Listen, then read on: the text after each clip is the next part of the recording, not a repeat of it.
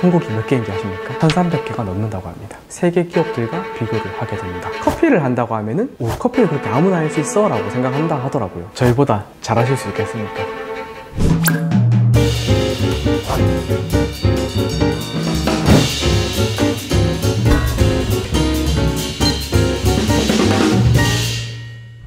안녕하세요. 커핑 포스트의 이치훈입니다. 오늘은 지극히 개인적이면서도 이제 몇 년간 고민해왔던 한국의 커피는 이렇게 많이 마시는데 왜 카페가 자꾸 망할까? 이 이야기에 대해서 한번 해보려고 합니다. 커피를 시작하고 200개 정도 되는 카페, 이제 창업 카페요? 이런 것들을 많이 봐왔었는데 한국만큼 이 카페 시장의 흥망성쇠가 잘 드러나는 그런 곳이 잘 없다고 생각을 합니다. 오늘은 그래서 여러분들과 어떻게 하면 오래 잘 되는 카페를 만들 수 있을지 그런 것들을 한번 얘기해 보려고 합니다. 어, 많아진 것 같아요. 대체적으로 많이 하는 얘기가 1년 동안 한국인 1인이 소비하는 커피가 거의 360잔이 넘어간다. 이런 국가에서 이제 조사한 자료가 있었습니다. 근데 사실 그 자료를 자세히 들여다보면 반이 인스턴트 커피였고요. 그리고 기준점이 한 잔을 원두 10g으로 잡고 있더라고요. 그래서 저희가 생각하는 아메리카노나 이런 커피들의 소비량으로 생각해 본다면 1년에 거의 한 90잔 정도? 3일에 한 잔 정도 마시는 게 좀 평균적이지 않나 그런 정도로 볼 수가 있고 이런 정도의 통계면은 전 세계로 봐도 절대로 작은 소비량은 아닌 것 같습니다. 인구 100만 명당 카페의 개수 그 통계 자료가 하나 있었는데 영국이 386개, 미국이 185개, 한국이 몇 개인지 아십니까? 1300개가 넘는다고 합니다. 커피 소비량도 물론 많긴 많지만 카페는 10배 이상 많다. 그게 어떻게 보면 은 우리가 핵심적으로 봐야 될 사항이 아닌가 생각이 드네요.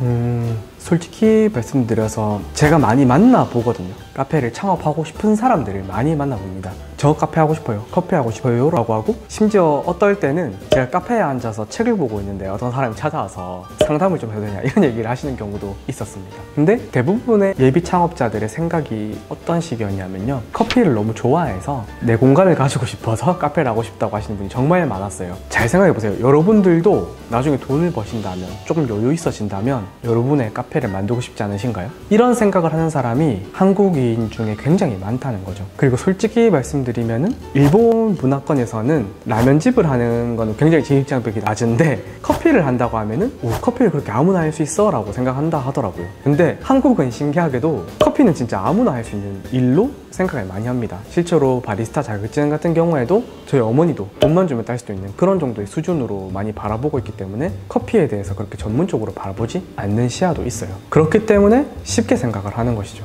그래서 빠르게 폐업을 하는 사장님들이 했던 말들이 몇 가지가 있습니다. 첫 번째가 커피가 맛있으면 카페가 잘 된다였고 두 번째가 자본이 적어도 감각적이면 잘 된다라는 생각을 하시는 분들이 있었고요. 세 번째가 그냥 멋진 카페를 만들고 싶다. 카페를 만들고 싶다. 이 포인트만 가지신 분들이 많았었고 네 번째로는 아까 말씀드린 거랑 조금은 비슷한데 내가 이제 커피가 너무 좋아서 카페를 하고 싶다. 마지막 다섯 번째가 하프니들을 다녀보니까 아, 나도 뭐 이 정도는 할 수 있을 것 같은데 라는 생각을 하신 분들이 많았었죠. 대부분 이런 분들이 폐업을 많이 하셨는데요. 지금 생각해보면은 창업하시는 많은 분들이 이런 생각을 하고 계시겠죠. 그렇기 때문에 한국은 창업도 많이 하고 그런 만큼 쉽게 창업하니까 폐업도 많이 하는 게 당연한 논리일 수도 있을 것 같아요. 아까 말씀드린 이런 생각들이 왜 잘못되었는지를 잠깐만 짚어보자면 커피가 맛있으면 장사가 잘 된다. 커피가 맛있다는 것은 굉장히 주관적인 사실이죠. 커피라는 게 대다수의 사람들 모두에게 맛있다는 것은 특색이 없다는 이야기로도 연결이 됩니다. 그리고 두 번째 자본이 작다는 것. 10년, 15년 전에는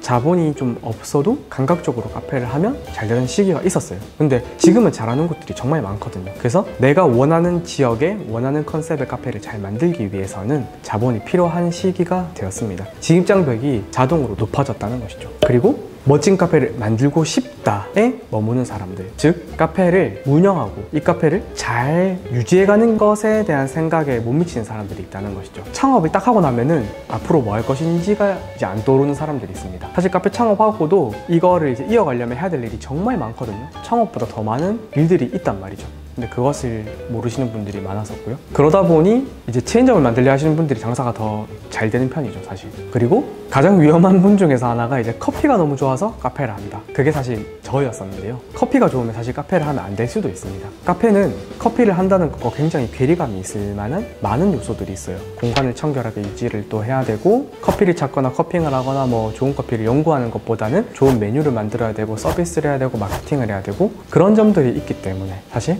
커피를 좋아한다는 것과 카페를 잘한다는 굉장히 다른 카테고리라는 것이죠. 그리고 다섯 번째, 하플들처럼 카페를 돈을 주고 만들 수는 있어요. 주변에 지금 생각해 보시면 하플들이 많이 있잖아요. 그 카페와 똑같은 그냥 카페를 만드는 것은 할 수도 있습니다. 근데 다시 한번 생각해 보세요. 5년 전에 여러분들이 알고 있던 하플들, 지금 남아있는 곳들이 많이 있나요? 잘 없다는 것이죠. 기억이 안 난다는 것이죠. 그게 어떻게 보면 폐업을 하는 이유 중에서 하나입니다.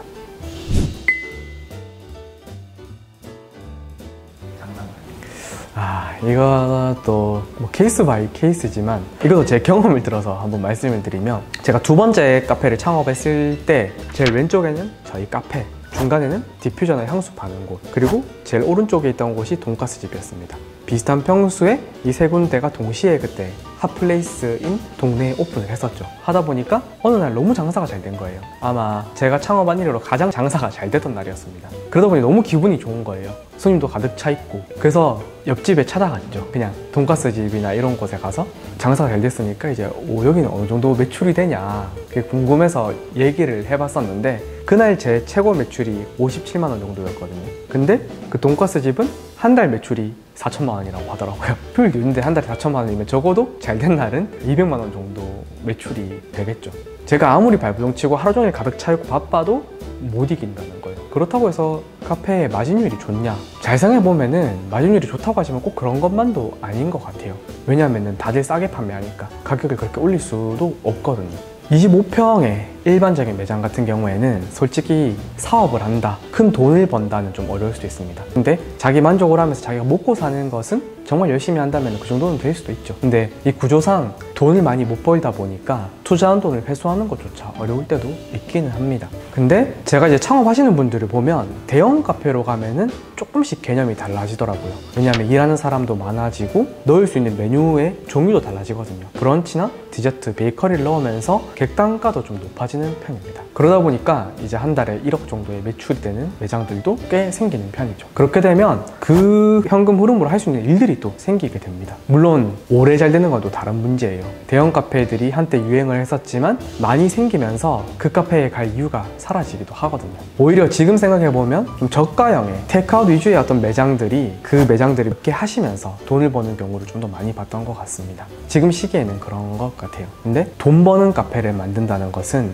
정말 어렵습니다. 지금 생각해봐도 한 10년 가까이 계속 잘 되고 있는 카페가 이 대구 시장에서 몇 개가 있나 떠올려 보면 손가락 안에 꼽습니다. 카페의 개수는 몇 천 개가 되겠지만 그 중에서 지속적으로 돈을 계속 벌고 성장을 해간다, 큰 돈을 번다라고 하는 곳이 손에 꼽는다는 말이죠. 먹고 살 수는 있지만 큰 돈을 버는 것은 상당히 어려운 분야다. 카페로는 그렇습니다. 그리고 한국은 특히 카페가 어려운 이유가 스타벅스에 정말 많이 갑니다. 저만 해도 애매하면 스타벅스에 갈 정도로 스타벅스가 잘해요. 너무 잘합니다. 와이파이, 음료 출시하는 것들, 다양한 사람들의 욕구를 채우는 것들, 그리고 분위기 하며 모든 것들이 정말 잘 갖춰진 곳이기 때문에 그냥 일반인 한 개인이 오픈해서 스타벅스보다 좋은 곳을 만들 수 있는가 정말 어렵습니다. 아무리 진정성이 있고 자본이 있어도 어렵다는 것이죠. 그래서 스타벅스 스크린 쿼터제 스타벅스를 뭔가 국가에서 규제해야 되지 않나 이런 생각까지 저는 듭니다. 너무 잘하기 때문에. 왜냐하면 개인 카페가 살아남지 못하니까요 그 생각도 하긴 하는데 뭐 현실적으로 어려울 수도 있겠죠. 그리고 마지막으로 로스터리 카페. 콩 뽑는 곳은 돈을 벌 수 있는가? 솔직히 말씀드리면은 전 지금 로스터리 카페를 오픈하는 게 가장 잘못된 선택 중에서 하나라고 생각을 합니다. 왜냐하면 저도 망했을 거예요 저도 유튜브나 뭐 이런 식의 커뮤니티나 열심히 여러 가지 방향을 찾아오지 않았으면 저도 망했을 것 같아요. 왜냐하면은 로스터리 카페는 개인이 운영하기에 카페가 잘 되기 정말 힘든 구조거든요. 콩 뽑는 곳이라고 해서 여러분들 그 카페만 가시는 분이 많이 있나요? 요즘은 그렇게 많지 않거든요 개인 카페 중에서 커피 맛있게 하는 곳 정말 많습니다. 로스팅기 없이도 커피를 맛있게 다양한 로스터리들의 커피를 제공할 수 있는 곳이 많아졌다는 것입니다. 로스터리를 하게 되면 또 필연적으로 제조업을 해야 되고 납품을 해야 되고 쇼핑몰로 원두를 팔아야 되고 카페를 해야 되고 다 잘하실 수가 있을까요? 카페만 집중해서 하는 곳보다 여러분들이 로스팅, 납품, 원두 판매 하면서 더 잘하실 수 있을까요? 쉽지 않습니다. 지금은 하나에만 집중해도 성공하기 어려운 시기라는 것이죠. 차라리 로스터리 카페를 할 거면 카페를 포기하시고 이쪽을 좀 더 특화시키는 게 돈을 버실 수 있는, 먹고 살 수 있는 좋은 방향이 아닐까 생각이 듭니다. 음, 아, 사실 진짜 어려운 것 같아요. 카페 창업. 저만 해도 지금 몇번 고민을 했거든요. 근데 그 추진 계획을 다 철회를 했어요. 대구에도 저희 second 브랜드를 만든다. 서울에도 저희 쇼룸을 만든다. 이런 것들이 자꾸 미뤄지는 이유가 아, 진짜 실제로 이 업계에 있어 보면은 정말 어려운 게 보입니다. 왜냐하면 카페는 곱셈이에요. 이거 제가 어떤 책에서 옛날에 봤었는데 카페가 성공할 수 있는 요인이 만약에 한 10가지가 있다고 봅시다. 뭐 서비스, 청결, 메뉴, 커피 맛, 인테리어, 음악, 그리고 마케팅 이런 것들이 있다고 생각해 볼게요. 근데 곱셈이란 얘기는 이 모든 것 중에서 하나가 0일 때 하나가 떨어질 때 모든 게 깨진다는 말이죠. 모든 게 좋아도 손님들에게 친절하지 않은 매장이 있다면 좋은 경험을 주지 못할 거고 다시 가기 싫어집니다. 너무 친절하고 좋은 곳인데 커피 메뉴나 이런 게 맛이 없다. 그러면은 갈 이유가 없죠. 아무리 친절해도. 그리고 모든 게 좋은데 음악이 너무 시끄럽다. 그러면 또 가기 싫어진단 말이죠. 이게 카페의 어려움의 이유입니다. 그럼에도 불구하고 여러분들이 카페를 하셔야 된다면 저는 가장 중요한 지점 중에서 하나는 branding이라고 생각을 합니다. 그냥 뭉뚱그려서 디자인을 잘해야 된다가 아니라 정렬이 잘 돼야 돼요. 예를 한번 들어볼게요. 그냥 가상으로 제가 한번 맛있는 라떼를 판매하는 곳을 만들어 본다고 생각을 해보면 일단 창업자에게 어떤 스토리가 좀 필요합니다. 그래서 라떼를 실제로 열심히 연구를 해봐야 돼요. 그냥 열심히가 아니라 진짜로 맛있는 라떼를 만들 수 있을 정도로. 예를 들어 이런 스토리를 가질 수가 있겠죠. 한 1, 2년 동안 진짜 라떼만 연구하러 세계를 한번 다녀보는 거예요. 다양한 나라별로 좋은 라떼를 마셔보고 사진을 찍어보고 그거를 뭐 영상으로 만들어서 미리 사람들에게 내가 이런 사람임을 personal branding을 할 수도 있겠죠. 그렇게 해서 나만의 스토리를 이미 장착을 한 상태가 되어야 여러분들은 강력한 브랜드의 시작점을 가지게 된 겁니다. 그거를 가진 상태에서 라떼의 중점이 갖춰져 있으니까 대형 카페나 이런 것들을 하기 어려울 수도 있어요. 계속 주기적으로 사람들이 라떼를 많이 먹을 수 있는 상권을 또 찾아야 되겠죠. 그러려면 오피스 상권이나 뭐 관광지나 이런 곳에 들어가면 안 되는 겁니다. 아까 말씀드린 모든 부분이 다 채워져 있더라도 내가 선택한 시장이 이 메뉴가 자주 먹어야 되는 메뉴인데 관광지에 들어가면 또 0이 되는 거예요. 그래서 이런 스토리를 가지고 이 라떼라는 메뉴가 굉장히 잘 전달될 만한 branding을 해야 되는 거죠. 쉽게 말해서 branding은 아 우리 라떼 맛있어요. 우리 라떼 정말 맛있어요가 아니라 내가 맛있다고 하기 전에 손님이 들어오기 전부터 아 여기 라떼 맛집이야 라고 느끼게 만드는 겁니다. 그러려면 무엇을 해야 될까요? 이런 장치가 있을 수가 있겠죠. 메뉴판에 라떼만 있다. 뭐지? 이 사람 무슨 자신감이지? 생각할 수가 있겠죠. 예를 들어 그게 아니라면 눈앞에서 우유를 blending하는 모습을 보여주는 것도 할 수가 있겠죠. 그런 storytelling을 가졌다면 뭐 카페 이름도 월드 라떼라거나 뭐 이런 것을 지을 수도 있겠죠. 그렇게 만들어서 모든 부분들이 일치가 되고 정렬되게 만드는 것. 상권, 손님들에게 대한 attitude attitude, 이 브랜드의 이미지를 다 정렬되게 가져가는 것. 그게 어떻게 보면 이 혼돈스러운 시장에서 내가 어떤 곳인지 알리고 내가 만드는 것의 가치를 더 올릴 수 있는 단 하나의 방법이 아닐까 생각이 듭니다. 그냥 내가 하고 싶은 곳을 만든다고 해서 잘 되는 시기는 이제는 지나갔습니다. 성공의 법칙은 굉장히 간단합니다. 아무나 못하는 것이죠.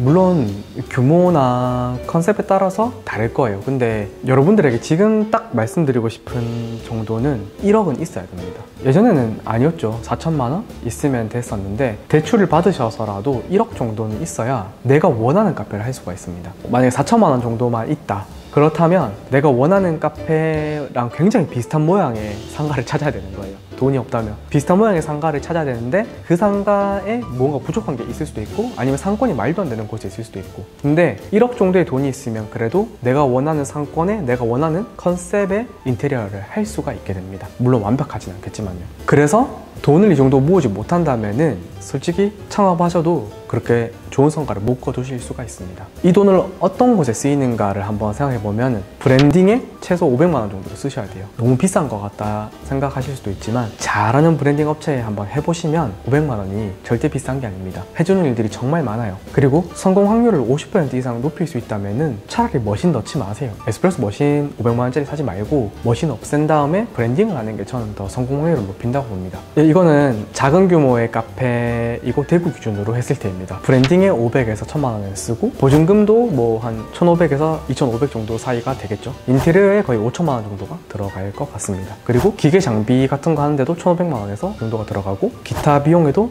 1500만 원 정도가 들어갈 수가 있겠죠. 그렇게 하면 벌써 1억이 넘어가지 않나요? 이렇습니다. 근데 이것을 작은 돈에 하려고 하다 보니까 뭔가 안 되는 것이죠. 그렇잖아요. 여러분들이 지금 대결하는 많은 카페는 최소 전문가 5명 이상이 모여있는 곳들인 게 많습니다. 근데 그 사람들을 혼자서 이기려고 한다는 게 어려운 일이라는 것입니다.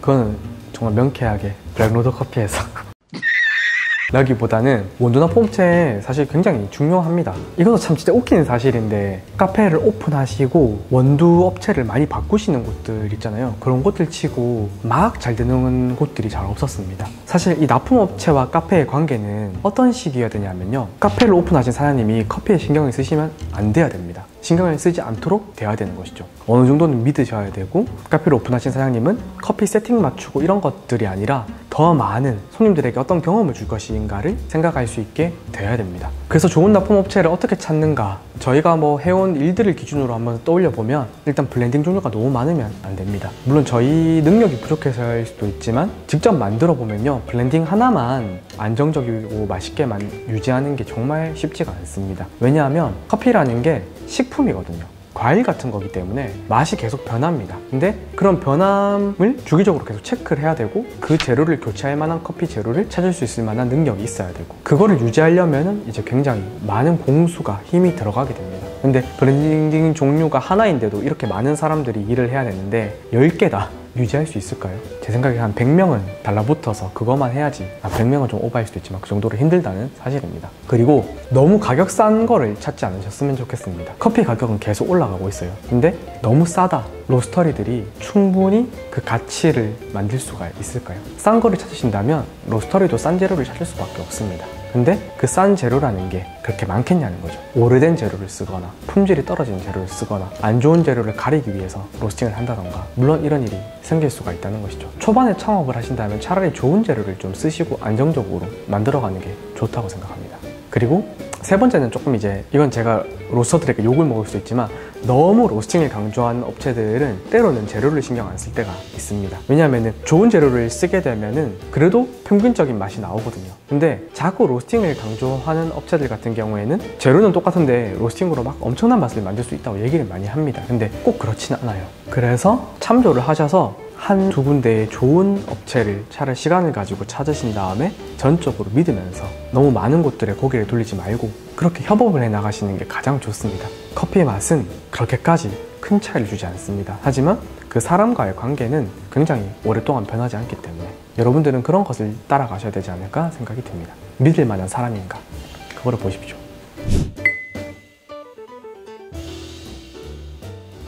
자, 로서리 카페를 한다. 저희보다 잘하실 수 있겠습니까? 물론 저희보다 잘하는 곳이 굉장히 많습니다. 근데 여러분들에게 그런 느낌을 전달해 드리고 싶다는 것이죠. 제가 처음 로스팅을 시작하고 난 다음에 들었던 말이 뭐였냐면요. 어? 커피 리브레보다 맛없는데요? 모모스보다 별론데요? 오늘도 어떤 분이 연락이 왔는데 그런 얘기를 하신 분이 있었습니다. 물론 반대도 있죠. 아, 거기보다 훨씬 맛있다 하시는 분도 있지만 로스팅을 하는 순간, 제조업을 하는 순간 여러분들은 동네 카페와 비교되는 게 아니라 전 세계에 있는 로스터들과 비교를 하게 된다는 것이죠. 제가 본 어떤 초격차라는 책에 그 말이 나왔어요. 장사를 할 때는 동네 사람들과 비교가 되지만 제조업을 하는 순간 세계 기업들과 비교를 하게 된다. 로스터리를 하시게 되면 자연적으로 납품을 하실 수밖에 없습니다.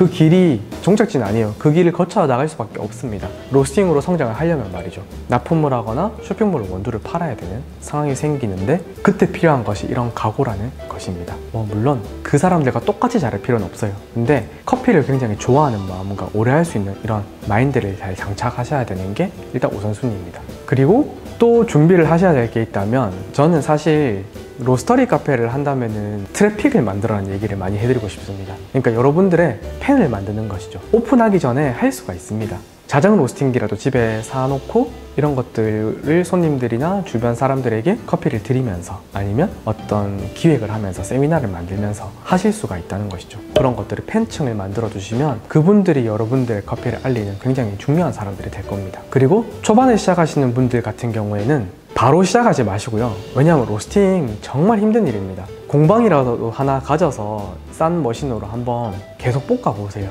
한 몇 개월간 볶아 보면은 아 이건 내 길이 아니다 싶으신 분도 있을 거예요. roasting은 연기를 마셔야 되고 생두 분진을 맡아야 되고 잘 되게 되면 포장을 많이 해야 되고 그런 일들이 많이 있다는 거. 그 환상처럼 연금술처럼 커피를 연구하고 이런 부분이 모든 게 아니라는 거. 그것을 아셨으면 좋겠습니다. 자, 험난한 카페 시장에 대해서 오늘 한번 얘기를 해봤는데요. 너무 안 좋은 얘기만 많이 한 것도 같지만 그런 만큼 여러분들이 실패 확률을 줄이셨으면 좋겠습니다. 저도 창업을 많이 해봤지만 사실 세 번 정도는 카페가 잘 안 됐습니다. 제가 뭐 열심히 안 하지 않았어요. 정말 목숨 걸고 열심히 했지만 카페가 잘 안 되더라고요. 지금도 수많은 일을 추진 중에 있지만 그 옛날과 지금의 달라진 마인드는 제가 추진하는 모든 일들이 잘 될 거라고 낙관하지 않는다는 것입니다. 여러분들이 오픈하는 카페도 잘 되지 않을 수가 있어요. 그래서 그 다음을 생각하면서 무엇보다 창업한 후를 생각하면서 준비를 하셨으면 좋겠습니다. 창업이 목표가 되지 않으셔야 됩니다. 도움이 되셨다면 좋아요, 구독 부탁드릴게요. 감사합니다.